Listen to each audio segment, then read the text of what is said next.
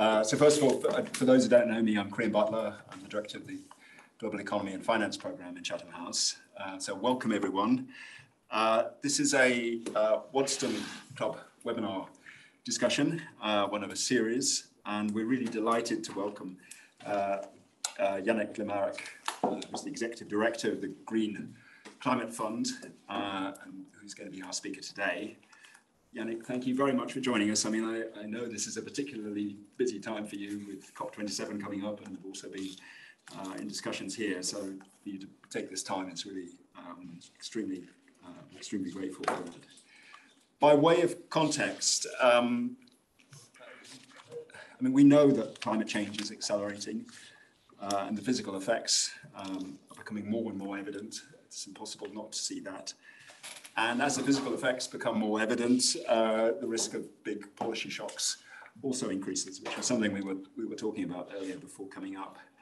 Uh, and we also know that despite the uh, remarkable progress that's been made um, in certain technologies and the decarbonisation in certain sectors, uh, we're not moving fast enough, not moving anywhere like fast enough, uh, um, including to meet the uh, 1.5 degrees, we have what eight eight and a half years left of the carbon budget for 1.5 degrees, which is which is very little uh, time. Uh, and we also know that closing the gap uh, between uh, what is needed and what is actually happening is going to require an enormous amount of finance, uh, both public and private. I think it's very important to see that as finance, not cost, because it's a very different a very different thing. People tend to talk about this as cost, but actually this is finance which um, is potentially going to be very productive for our economies in the future. But there's really, in that context, no better person to take us through the issues um, than Yannick. And the GCF is now um, the largest global fund dedicated to um, fighting climate change. Uh, Yannick became the executive director in 2019. And prior to that, he has a career spanning some 30 years in the UN system, focused on climate change, development, and finance. And just to highlight a number of the um, roles that he's held before, uh, he was the Deputy Executive Director for UN Women. He was also the Executive Coordinator of the UN Multi-Donor Trust Fund Office, which I think probably gave you quite a bit of expertise in relation to, to what you're, you're dealing with now. I think there's some 100 trust funds uh, that come under that uh, role. And he was also UNDP Executive Coordinator uh, for the Global Environment Facility. Uh, Yannick is very kindly going to give us uh, an introductory presentation uh, for around 25 minutes. I will then put a few questions uh, before we open it up to the audience. Um, and just to emphasize, everything is on the record. Uh, and as I say, as well as those in the room, we have a, quite, we have a big audience um, online. And my job is to balance between the two. So I'll try and mix those questions together. We have a hard stop at 11 o'clock, uh, so please do keep your questions and comments uh, as much to the point and as brief as possible, and we can get as many in. And last but not least, uh, I'd like to thank um, the Waddesdon Club, which is sponsoring this, um, uh, this seminar, and uh, the funders of the club, which is uh, IKEA Foundation, KR Foundation, and the Rothschilds Foundation. So with that, Yannick, over to you. And magically, I think your slides will appear on the screen, but let's hope that works. Yes, very good. Many, many thanks, uh, Creon. And uh, good morning, uh, everybody. Uh, at the onset, I would like to deeply thank uh, House for uh, organizing uh, this event. The, um, so I will try to, my presentation will very much focus on the why the, when you discuss with institutional investors, they are telling you, uh, you know, we are committed to climate change, we are committed to ESGs, but we cannot find any bankable project. And why? Whenever do you discuss with some, uh, with a, with an investor, with an entrepreneur, you hear, you know, we have some great project, but we cannot access any kind of finance. And so, is one group lying, or is there something else between between the two? And the uh, so, if I go to the first slide. Maybe just to, to summarize where we stand in terms of uh, climate change. The, uh, according to the latest report from the UNFCCC Secretariat uh, on the NDC uh, synthesis, we are now on track for uh, an increase in uh, average global temperature of 2.1 to 2.9 degrees Celsius by the end of the century.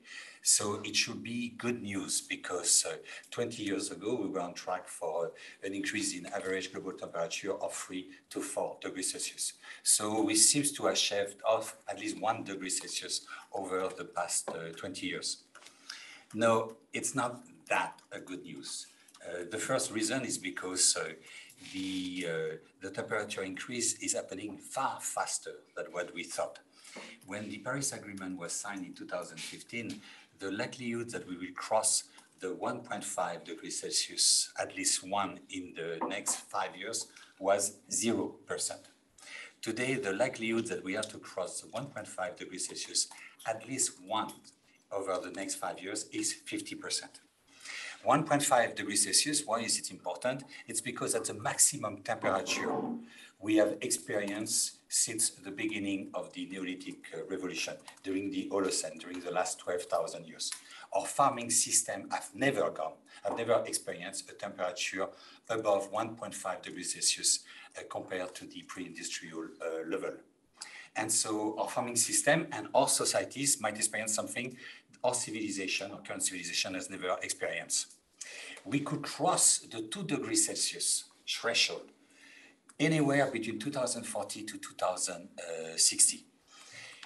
Over the past 2.5 million years, the Pleistocene that has seen the emergence of uh, the our species, the Homo sapiens, and all its antecessors, temperatures have oscillated between minus six during the ice age to plus two during an interglacial. Minus six plus two, minus six plus two. We have never gone beyond plus two.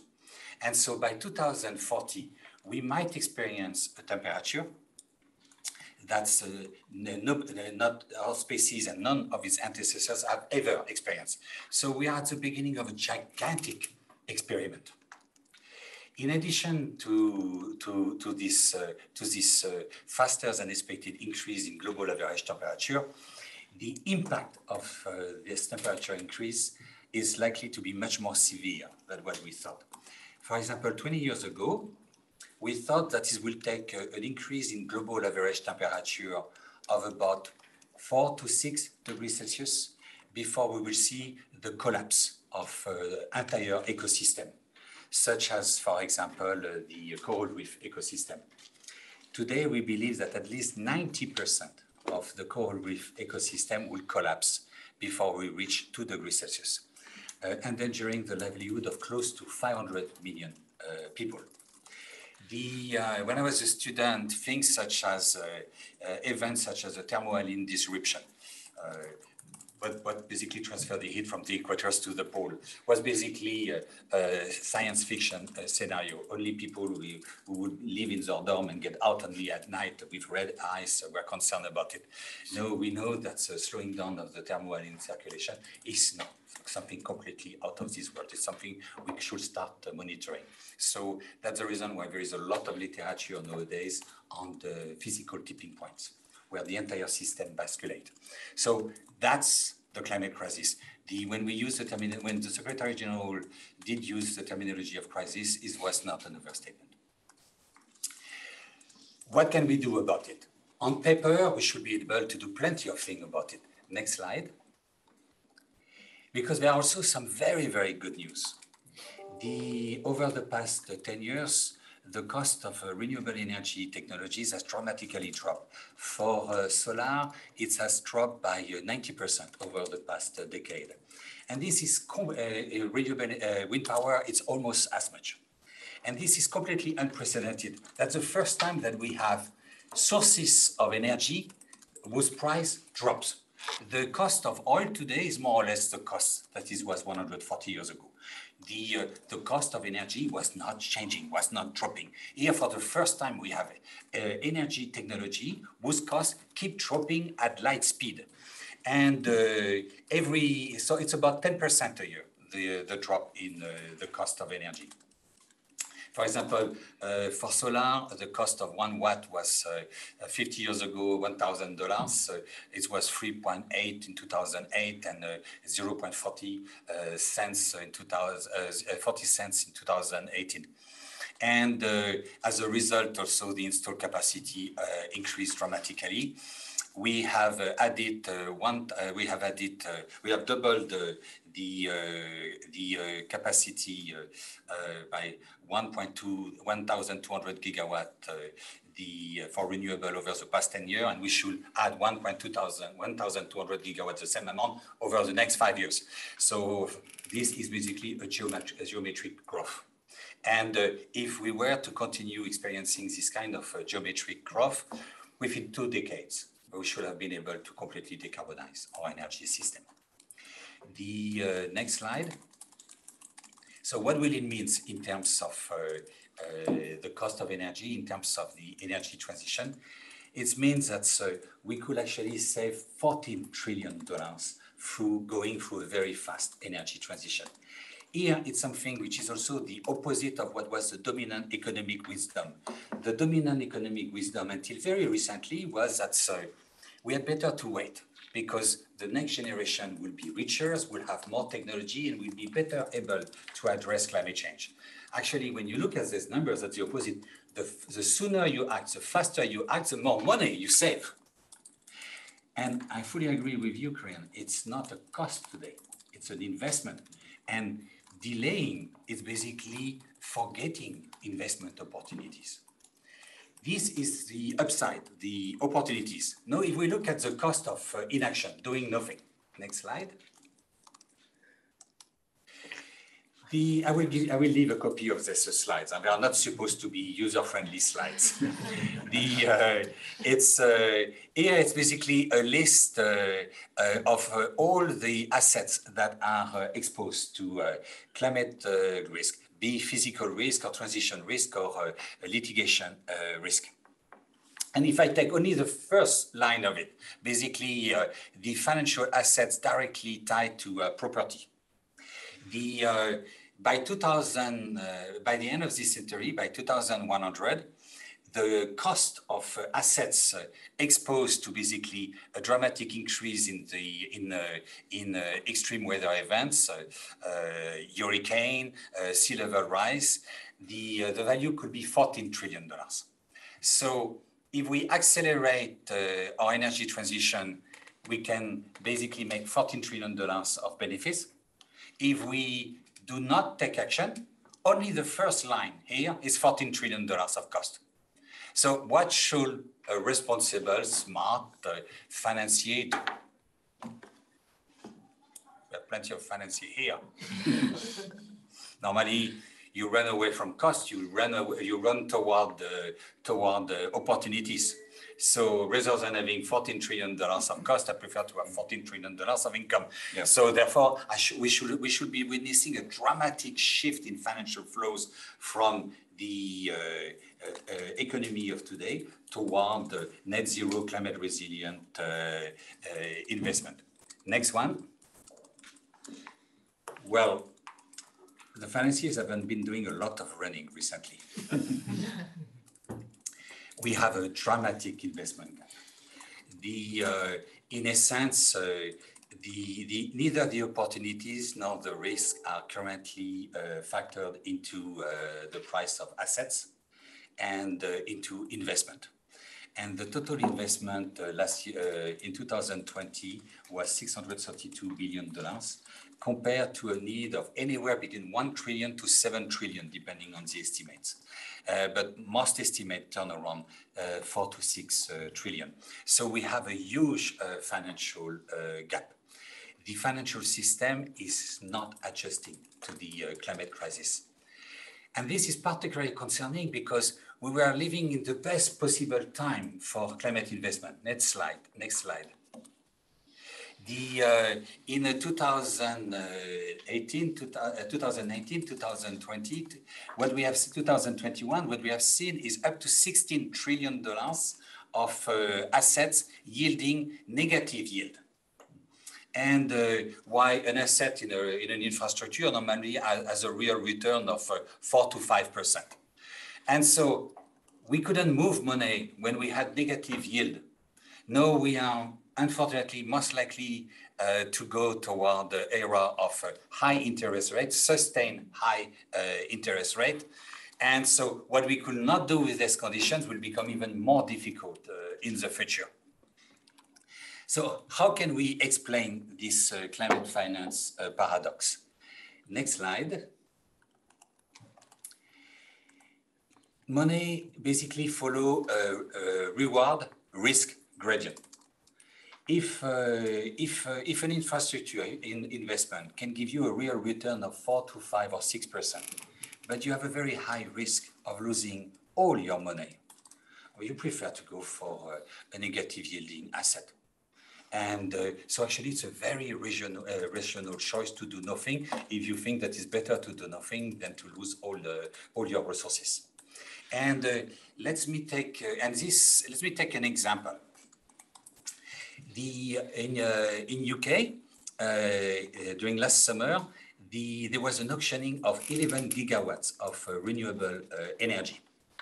11 gigawatt of renewable energy is the equivalent of 11 nuclear plants. It's enough uh, for 14% of the electricity consumption of UK. And uh, it was the fourth auctioning based on a contract for difference, where basically uh, the government guarantee a minimum price and an access uh, to the grid. And so this is the strike price, the minimum price. And actually, last summer, there was a striking strike price because, for example, the cost of offshore wind power as part of uh, this uh, auction was 37 pounds per uh, megawatt hour. It was one third of the cost of nuclear, one ninth of the cost of gas at that time. The strike price was so low uh, that's uh, with the strike price, the, the government give you money. If it's lower, you give back money if it's higher. Huh? Uh, the the price uh, the price uh, the strike price is so low that most likely the exchequer will get back 1.5 billion British pound from that deal. And so the uh, and uh, why the British government used to conduct this uh, auction every two years, now it will conduct this auction every year.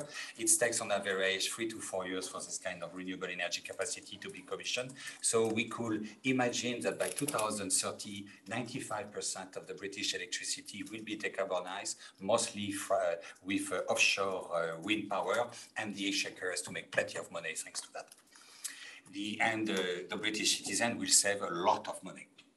Uh, so here it seems that we have a perfect win-win uh, solution. Why don't we do that in the rest of the world? Or at least all the countries that have good uh, wind power. Today, UK is the best in class in terms of cost for offshore wind power. Say a French. and, uh, and you can see how difficult it is. the, uh, but now imagine, let's imagine that we take exactly the same technology, this British-made uh, technology, and we bring it to an African country. The African country on average are B minus in terms of uh, rating. And there, uh, this project, which is so attractive in UK, uh, will be will not be bankable in uh, most uh, African countries. The reason is that because for this project to be feasible in UK, you need first to have a lot of engineering skills and uh, uh, any kind of technical skills. And this might not be there. This might not be the case. You need uh, basically the shipyard to be able to to build your wind turbine and to upload it. Might not be the case. Uh, your, you might have the shipyards, you might have the skill, but uh, fossil fuel might be subsidized at 95%. So even at 37 British pound per megawatt hour, you are still uh, not competitive the uh, and uh, you might uh, basically have to get the approval of 27 administration to get your sitting license and uh, and the uh, that might take you four years. And once you have your wind turbine uh, up and running, they might be basically boycotted by the local fishing community. And so, uh, and let's imagine that you have been able to get rid of all these different uh, problems, notably fishing community by involving them as uh, stakeholders and shareholders. The, uh, you, because you are in a B minus country, you will simply not get access to money. Uh, the reason why in UK it was possible to have a strike price of uh, uh, 37 British pound, it's because at that time it was less than 2% for uh, the uh, the British uh, bond, the, the T-bond, you add 2% for the private sector, so it must have been 4% the cost of capital. In a B minus country, the cost of capital will be 18%, and the tenor will be two years, why you need at least a tenor of 10 years in order for you to be able to, to, to finance a project. So this wonderful British experience uh, is simply not uh, exportable. It's not, uh, and this project is uh, not bankable because there are plenty of barriers to green uh, to climate uh, investment. Mm-hmm. And that's the reason why uh, you have a lot of in institutional investors, you have a lot of promoters who want to develop these projects, but they cannot access money because the, the bankers do not find them bankable. And so any invest, for example, any investor in a country with a 27 administration, not to happen. Any investor in a B minus country is not to happen. The, uh, and that's uh, the key uh, reason behind the climate finance paradox. So what can we do about it? Next slide. the, uh, we have to basically uh, completely uh, de-risk and reprice investment. The, the, the situation in, in the country where the cost of money is 18%, in a sense, if you are an investor, you the business as, you, as, you, as usual going the red line going with a coal fire power plant it's the one that makes much more sense. Because uh, we know the technology is not very risky. The risk of delays in commissioning are very low. The risk of cost overrun are extremely low. It's basically a plain vanilla investment as much as a infrastructure investment can be plain vanilla. Now if you go with uh, a wind power uh, project First, the uh, upfront capital expenditure are much, much, much higher. Normally, uh, the lower operation and maintenance costs, OpEx, in low financing cost environment should compensate. But because your uh, financing costs are so high, the, uh, the lower OPEX will never compensate for the higher uh, CAPEX.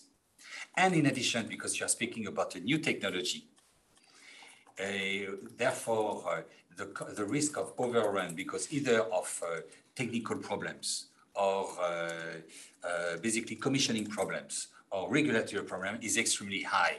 And uh, the and you you go to your banker and you need a lot of upfront capital and you go back to your banker and you say and I know I have a major cost over, cost overrun and uh, I will commission two years be after and I have no more liquidity. Your banker will love you forever and uh, and that's today the situation today. We have to move uh, to a situation where uh, we can de-risk a project to the level where the cost of capital is uh, acceptable because the banker will look and say, okay, there is this risk, but that's the way we have been addressing this risk. There is this risk, but that's the way we have been addressing this risk. So rather than asking 18%, I will, I will satisfy myself with 8% or 6%. And therefore, uh, because your cost of capital is much, much lower, even if you have a higher capex, because your OPEX is much lower, actually your uh, green line, your wind power will have a, a much better uh, uh, net present value, much better internal rate of return uh, at the end. And uh, the, in addition, you will certainly have to come with mechanisms to reduce the risk of cost overrun and I will come back to some of uh, this mechanism so that if you have a delay in commissioning, it's not uh, catastrophic.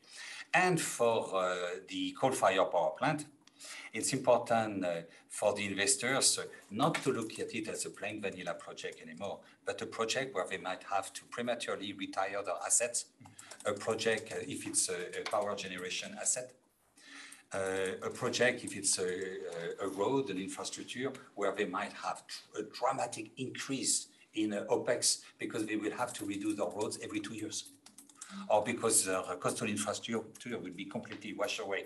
And therefore, the real risk of bankruptcy, of illiquidity, and after leading to solvency issues is no more with the green project, it's with the red project. And so we have to shift from the, the first situation to the second situation. Next slide. The, uh, here again, this is my user-friendly slide. It's, uh, it's, there's a worse one coming. It's, uh, it's a kind of summary of uh, all the uh, environmental policy instruments that have been developed in order to de-risk climate investment. There are more than 4,000 according to the Interna eh, International Energy uh, Agency. But basically, you can link, you can, uh, you can eh, sort them in five main type of projects: the information instruments, the regulation, the market-based and economic instruments, the institutional instrument. You create a new institution, a green bank, and the financial instrument that will de-risk project. And so the first type, first, the first four type of, of instruments will basically work both on the the supply side and the demand side of a market in order to transform a market uh, and to create a new green market. The fifth category of instruments are the instruments that you will use in order to de-risk one specific investment. And this specific investment will basically establish a commercial uh, track record. The, uh, and establishing a commercial track record is extraordinarily important because bankers cannot deal with uncertainty, they can deal with risk. Once you have a commercial track record, you can estimate risk. You are no more dealing with uh, uncertainty. And so the, the, what we know uh, for uh, sure is that sorry, none of this instrument will work in isolation. There is, there is among economists, uh, there has been among economists a kind of uh, quest of the grail, of the holy grail for uh, the past 50 years, the instrument that will take care of everything. Uh, so be carbon price, be climate risk disclosure, be green taxonomy, or be a prudential ratio. Uh, among the engineers, uh, basically at a moment in time, we wanted to only do feed-in tariff throughout the world. The, there is not a single instrument that can work in isolation because you have uh, such a plethora of risk that you will have to use different type of instrument.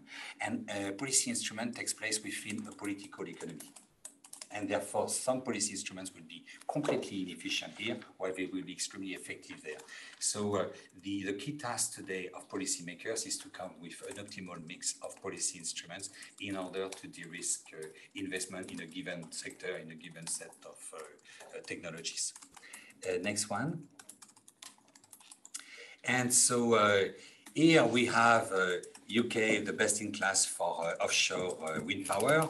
Uh, country X, B minus, that's that's basically is experiencing a number of risks. Every time you have a risk, you have a premium on that risk and another premium and another premium until the moment the risk is not bankable. And to make the, pro the project is not bankable. And to make the project bankable, you will be using this instrument. For example, you will streamline the approval process for a wind power project, uh, you can say as long as you sit your uh, wind farm in uh, this geography, you need no authorization the, uh, because you will have used the geographic information system overlaying every single concerns you have. Uh, you, you can speak also about uh, phasing out uh, subsidies, coming with uh, de-risking instruments such as a contract for difference, etc. And so you use a number of different instruments until the moment where the risk reward profile make it bankable.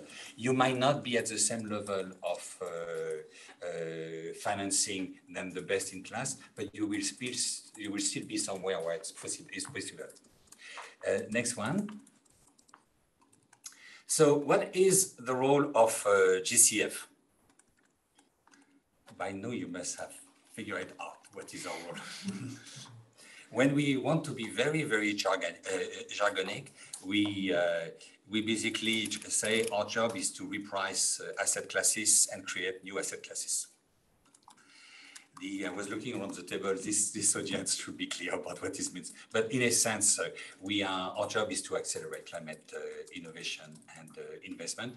And we have adopted a three-pronged approach where first we create an enabling environment, notably through transformative uh, planning. And after, we support uh, climate innovators to come up with new climate solution.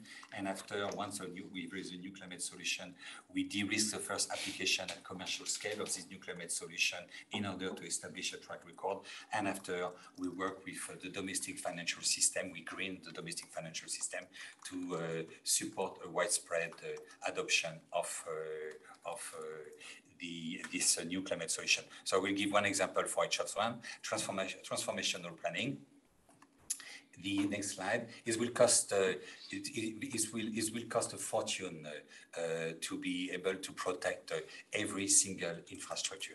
Infrastructure are, are part of uh, networks, and so what we are trying to do is that we are trying to provide to, to promote integrated planning with grant finance, where we enable countries to overlay their uh, water network, electricity network, uh, uh, transport uh, network, telecommunication networks, and we, with uh, the maps of uh, climate hazards, and after to identify which nodes cannot be offline for more than two weeks and have to be protected.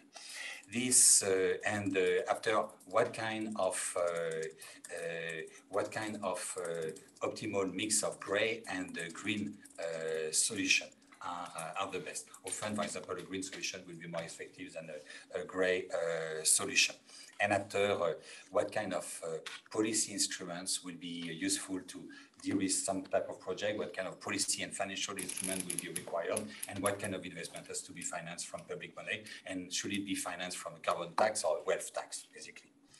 The, uh, the reason why you, we have to take a systemic approach the, uh, is because any first, it will cost a fortune to strengthen every single infrastructure.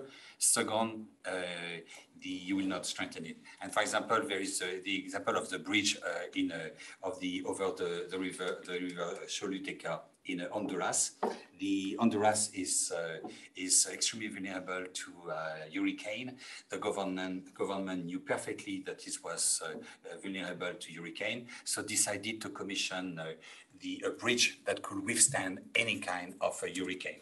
When Hurricane Mitch did it uh, in October uh, 1998, uh, almost all the bridges in the country were destroyed, but the uh, Choluteca Bridge. The only problem is that one. The course of the river did change, and so you have no bridge to uh, nowhere. the, uh, and uh, in the, uh, and I, I, my, my colleague tells me that I've run out of time, so I move to the uh, other uh, slide. So that is basically the reason why we have to go for transformative uh, planning. After catalyzing innovation, we desperately need to catalyze innovation. The, most of the solution for the global south will have to be developed in the global south because they do not make sense in the global north. And uh, this uh, is as much a financial solution as a business model, as a technological uh, solution. And uh, unfortunately, for uh, for entrepreneurs, uh, for climate entrepreneurs in the global south, we cannot get access to any kind of incubator and accelerator services. There are only 25 in the global south. And even if we get some access, if we cannot ex get access to early growth finance to, to come with the first uh, proof of concept of uh, the new climate solution.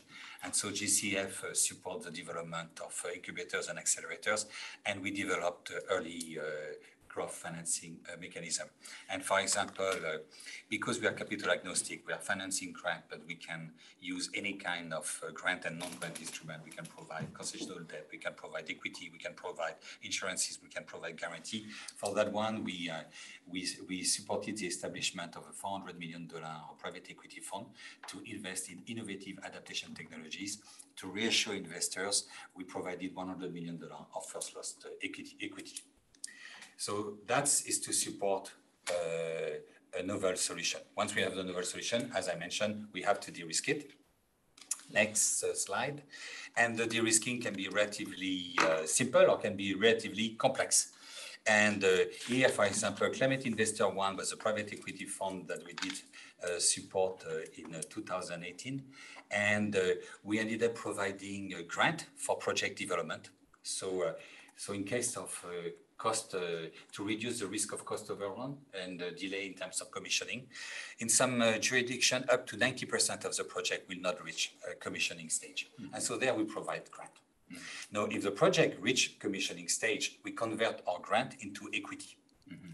And therefore, we hope that we get enough equity to be able to replenish our uh, grant component. And in terms of equity, we normally take uh, the junior uh, equity tranche. And after the, this project is reaching the stage where we hope to have soon enough assets so that we can make it an ABS and uh, offload it to a capital market and create a virtuous cycle where we can have a, a, a, sustainable source of financing. So this is one mechanism of de-risking.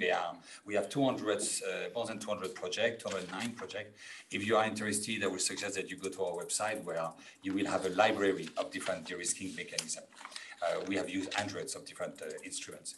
A last uh, slide on our four-pronged approach, the idea of uh, greening finance. So we will be working with domestic financial institutions to help them in Uh, understanding of the uh, uh, green taxonomy or creating their own green taxonomy, uh, disclosing climate-related risk, which is critical for them to be able to access market, and maybe access market through providing a, a guarantee to any kind of green bonds.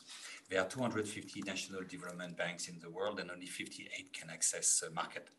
With the British government, we have just established a green guarantee company that will provide a 100% guarantee to uh, infrastructure project in developing countries.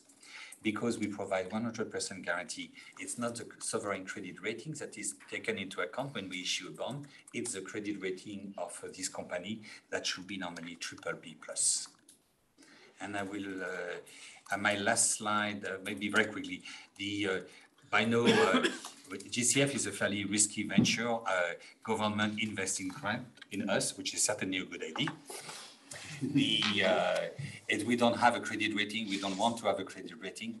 The uh, but we are basically uh, a public social impact investors. We do not work. We are uh, we we, our level of risk uh, is we are a, a patient risk capital uh, provider. And uh, within the overall landscape, uh, that's our positioning. The, we put ourselves in the middle not because we were firm centric, but also because we do not develop our own projects. We are uh, co-investors. We work with more than 200 partners uh, from some of the largest commercial banks in the world to civil society organizations. And uh, what we do is that we try to serve as a hub of the uh, climate finance architecture, helping each of our partners to, to basically meet their hurdle rate because we, uh, we de-risk uh, them. But when your business model is at such a level of risk, it's important to have an impeccable uh, due diligence process. And my last slide is that uh, the we basically have a double uh, uh, due diligence process. We have the due diligence of all our partners who have to undergo a fairly uh, demanding accreditation process before we can manage our resources. And the Secretariat has its own second level due diligence and uh, with uh, the three lines of defense of uh, COSO. So I have people who basically whose job in terms of co-investment is to reduce the uh, project uh, technical soundness risk. I have people in the second line of defense who are looking at uh, legal risk and environmental and social safeguard risk, and we have independent units. Uh, for uh, uh, integrity risk, for redress risk, etc., etc. So it's a fairly complex architecture, which makes us an extremely efficient organization for projects of 250 million dollars. But if you want five hundred thousand dollars from us, it will take, it will take us. Well, yeah, thank you very much. I mean, that's absolutely brilliant. It's, uh, it's well, yeah, that's. Uh,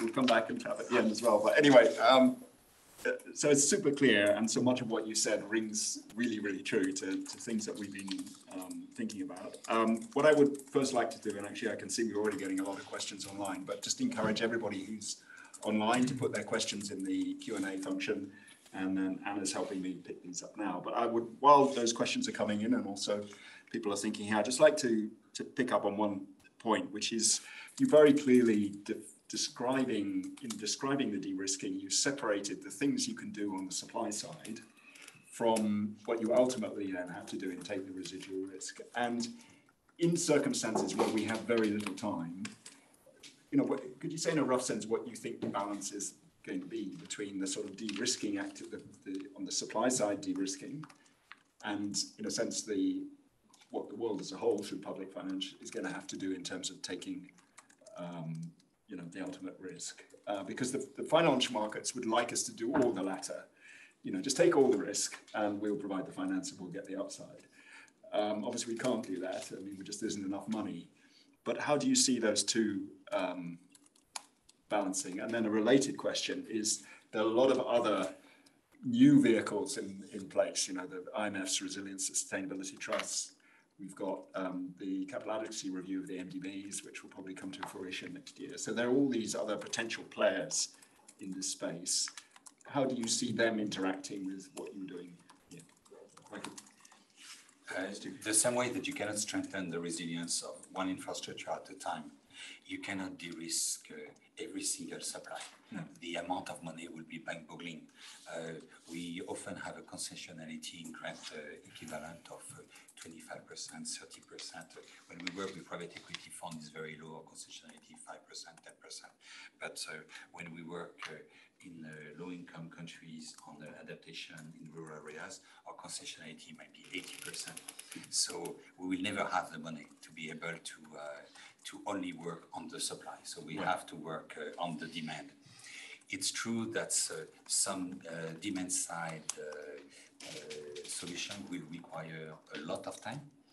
The, but some do not. For example, streamlining a licensing process will not require as much as much time as uh, developing uh, the uh, technical skills that you need. And so the, you have to do everything in parallel. You deal with some strategic project on the supply side because we will create your track record. You try to go for the low-hanging fruit on the demand side, and while you work on the on the some longer-term uh, uh, initiative, what we know for sure is that you do not have to wait for perfection. Uh, you can come with a, a set of instruments that enable you to create a market in a political economy in a, that is not perfect. And so uh, their uh, perfection is truly the enemy of the good. The, uh, we know that we can create a market in less than 10 years. That means, uh, for example, in the UK, we could transform the energy, uh, the energy mix in 10 years we can create a market in 10 years, even in jurisdictions that are plagued by uh, other, uh, other problems. And the role of how you connect with the, the RST and the World Bank and these other kind of, I mean, the MDBs when they have all But the, uh, among our uh, accredited entities, right. we have all the MDBs. Basically, yeah. we work with the with commercial banks, we work with national development banks, we work with multilateral development banks, with UN agencies, etc. Right. And uh, the uh, the, uh, with uh, with the banks, we tend to focus on the infrastructure. Mm-hmm. And so, for example, we have right now uh, uh, one project with the bank, which is uh, 1.4 billion dollars, 300 billion dollars from us, and 1.1 in, concession, in, in guarantees, and 1.1 in loans from the bank to strengthen the grid in several African countries and to provide guarantees to independent power producers. This will, be, will mobilize about $5 billion in private money, and we are providing the guarantee.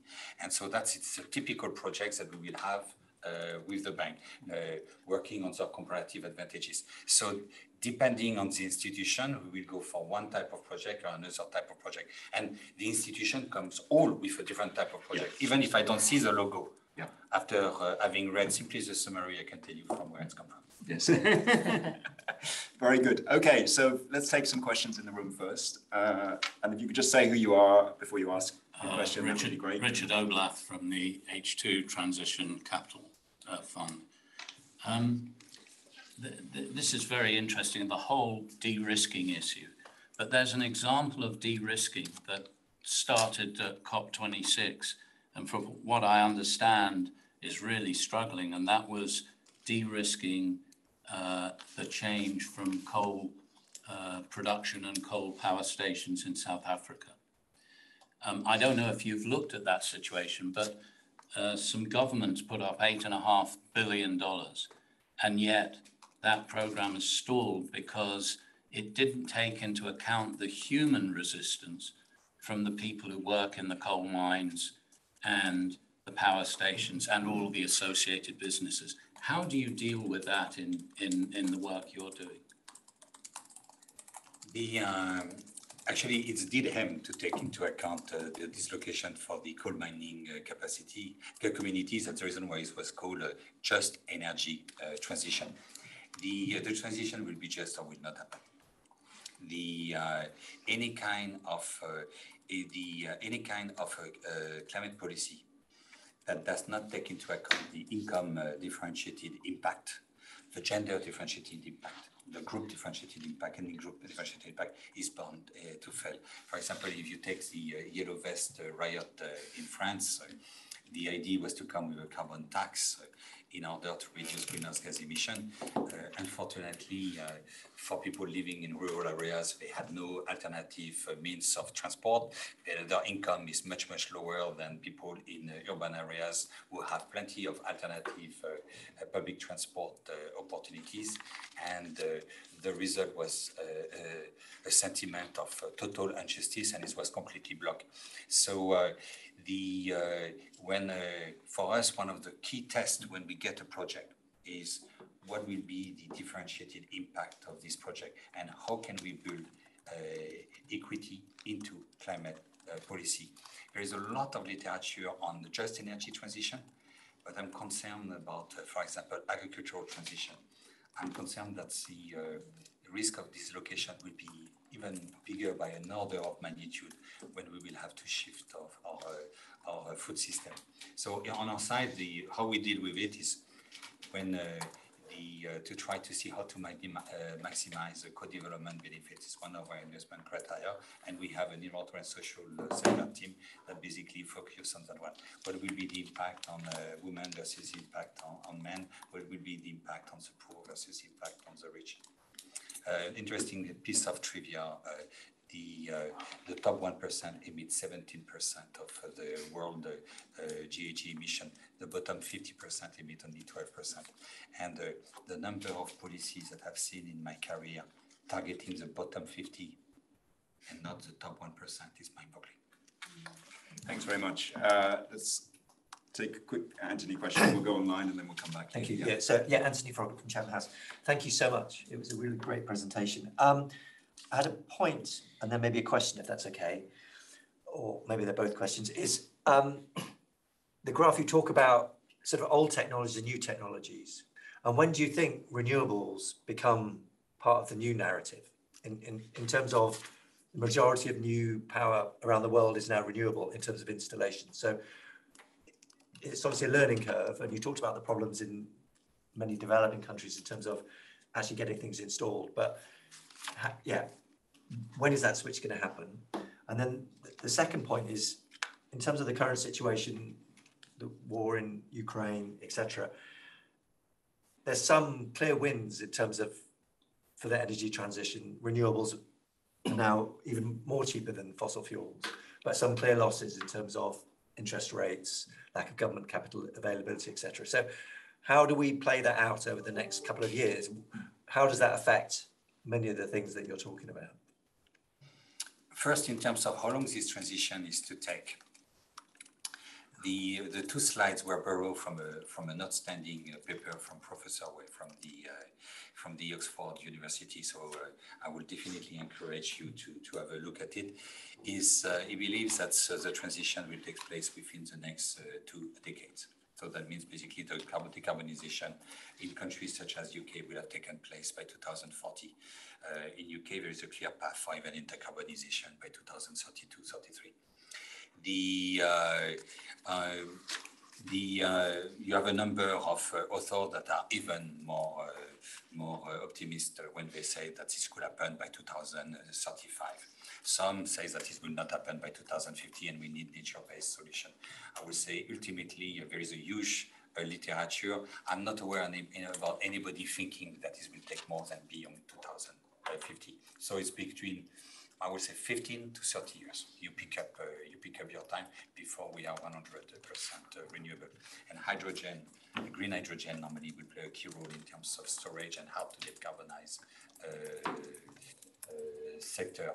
Now, the uh, the war in Ukraine is very interesting because uh, de facto uh, we are seeing a gigantic carbon tax and and we are seeing also the effect of a gigantic carbon tax without accompanying measures. The, what one could expect that's uh, because of this uh, gigantic carbon tax, we will see a dramatic acceleration of investment in renewable energy, and the International Energy Agency uh, predicts so. But at the same time, we can see a dramatic increase in interest rate. We can see a dramatic increase in debt to GDP uh, ratio. We can see uh, a dramatic impoverishment of people, which is not good for investment. So the you can come with a scenario where thanks to uh, to, to this dramatic carbon tax, we will do it five, five years earlier, or because of this dramatic carbon tax, it will take five years more. The, for me, it will very much depend on, on the response of uh, policymakers, what kind of measures they put in place. It's possible that we will save five years, but not without uh, uh, policy measures.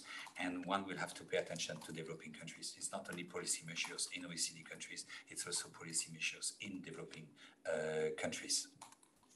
Thanks. Uh, I've got some questions online I'd like to, to come to next. Uh, firstly, from uh, uh, Stefan Schwager, is a, a, question a little bit you got into, which is if we don't have a carbon tax and we don't have mandatory capital adequacy requirements on climate finance, you know, what's what's going to make things move? Um, you know, is the private sector going to work it out for itself that it needs to do something quickly, or do we need those, you know, those push elements in order to move things along? But a carbon tax uh, can help, but it will not be sufficient, and it's not obligatory. So it's neither sufficient nor mandatory, but it's definitely helpful. So I think I would definitely not recommend a carbon tax. But if you do not have, but this carbon tax will have, is not a carbon tax because you have a dramatic uh, runaway price in gas. It will have a carbon tax where you look at the redistribution effect, etc.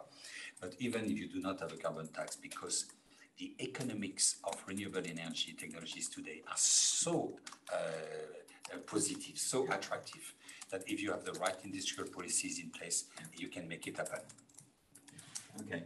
And then another couple of questions that relate to the link between climate action and biodiversity uh, from Toby Ackroyd and Dean Cooper. I mean, uh, Toby kind of points to the very controversial issue around um, use of wood for renewable energy in, in Europe and the, the consequences of that. But, uh, you know, what, what is your approach to making sure that there aren't serious biodiversity consequences of many of the things that are proposed for climate action at the moment in terms of your the projects that you're looking at or the broader picture? The uh, GCF is, uh, is a very strong proponent of uh, ecosystem-based approaches. The, uh, we believe that's basically the climate change crisis, the biodiversity crisis, the inequality crisis are simply different facets of the same uh, crisis. And uh, the uh, when you reduce emission from deforestation and forest degradation, the, it's not only a mitigation, uh, a climate mitigation activity, it's also a climate adaptation activity because you reduce the likelihood of uh, droughts and floods, and it's also a biodiversity uh, activity because you preserve habitat. And we have come to, using the OECD markers, we have come to the conclusion that about 27% of our resources have a positive impact on the biodiversity.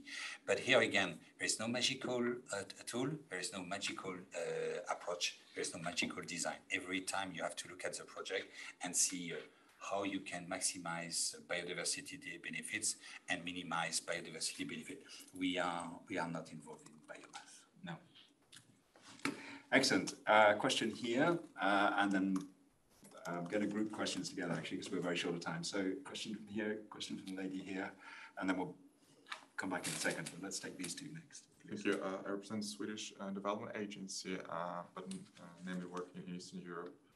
Um, um, but my question, I think, is related more to my previous academic background. I think, I think your presentation today really recapped what I did about capital asset management model on de-risking investments in renewables in developing countries. So that very much resonated, and I want to address the issue also you mentioned about climate uh, finance paradox. Uh, something similar is also about climate investment trap, where the countries uh, which need this energy transition the most, they have the highest cost uh, to bear uh, of financing. Uh, and I particularly want to address renewables uh, what do you think could be feasible uh, short-term um, measures or instruments to actually address the issue of extremely high financing costs in those countries? Uh, and that's paradox also think related to countries which have the abundant uh, natural resources like solar in Africa. They have the, actually the, the most expensive uh, project costs. And uh, Perhaps just because we, we know, want to try and get as many questions in as possible, so very, uh, was it, was it the same, same area or another very quick question? Uh, very quick question. Yeah. Uh, on, on the operation of fund. Um, it largely works with uh, uh, non-Annex uh, countries and uh, um, uh, which are largely developing countries and uh, former industrialized countries in Europe. They had special uh, arrangement under the Kyoto Protocol, uh, but they don't actually have access. Being developing countries, and I mean East European countries, uh, some of them are part of the European Union and they have access to the EU funds, but some are left behind. What do you think could be how you could basically would address to have this like small island between the two? Okay, and Lydia, do you want to repeat the question? let me And just say your, Yes, let me add you about coding analytics. We look at governance and sustainability. And thank you for the presentation. I just wanting to take us down from the supranational level right down to where we're looking at those who are managing the projects. How do you, what do you expect in terms of governance? Because you need governance for effective decision making and for a result driven and even risk based approach. Risk based approach is based on good governance. And I just wanted to know what your thoughts were because you want finance and finance means governance at some point. How do you bring them together? thanks, would you like to? With both questions are a bit linked to what we were uh, discussing before. Yeah. In terms of how to promote uh, uh, renewable energy, how to promote uh, investment in adaptation in, uh, in, uh, in developing countries, the uh, uh, one, one option, one key option is first to, uh, to establish a commercial track record. So maybe it's the first thing to de-risk your first project because without the first project, nothing will happen.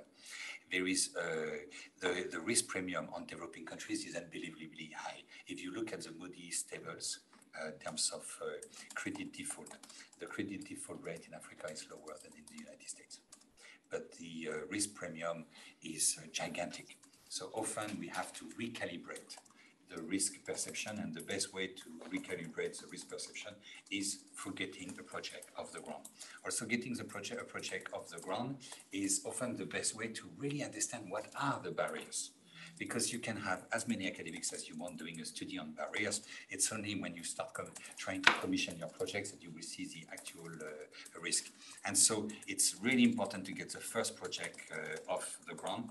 And for that, we need international assistance it's uh, it's uh, it's it's a tragedy that we have not yet reached 100 billion dollars uh, under the UNFCCC because this money is critical to establish this track record.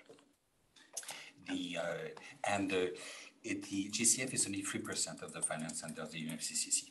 And there are 60 different funds. So normally, depending on your geography, uh, you should try to look at what kind of funds uh, operate the, and you might indeed have a couple of uh, countries that are not taken, taken care of. Go to a climate finance tracker and you can find the instruments.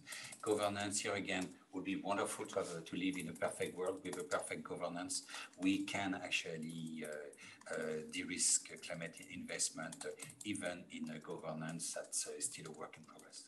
And uh, the actually action is a way to accelerate governance uh, uh, improvement it's, it's not in view of governance improvement. So unfortunately, we're almost out of time. So um, I think there's one final question in the room. If you Uh, yes. like, if Uh, to say, yeah, thank you. Uh, my name is Yasune Kano, a visiting fellow from Japan. Uh, well, so being based in Asia, or South Korea more specifically, how would you find the development of renewable projects or the general sentiment in Asian countries? Uh, well, COP27 is coming soon, but and you are, you are meeting so many figures from Asia. But do you have any specific comment or feeling about uh, Korea or Japan or China and other Southeast Asian countries? if I, if I could just add to that, because I just came back from Japan yesterday, and there is this very sharp contrast between discussion in, in Japan, which is about transition finance. So they're looking for finance for transition. And they, they look at Europe and they say Europe is going very hard, very direct. They want to do it all immediately. And you know the, the critique is that somehow that may be a bit realistic. So yes, yes, if you forgive me for adding that to your point. Well, it's um, Asia is very well placed to benefit from uh, this uh, green industrial revolution. It's uh, uh, an electric car. It's basically uh, a battery and a computer and four wheels. And uh, most of the technologies right now is in Northeast uh, Asia. Asia has been able to achieve in terms of energy efficiency things that we thought were, uh, were impossible. For example, after the Fukushima incident, the uh, uh, Japan was in a situation on paper which was more dire than the situation of Europe today. And uh, uh, in a matter of three or four months, uh, did register unbelievable energy efficiency uh, gain. Uh, notably through getting rid of ties.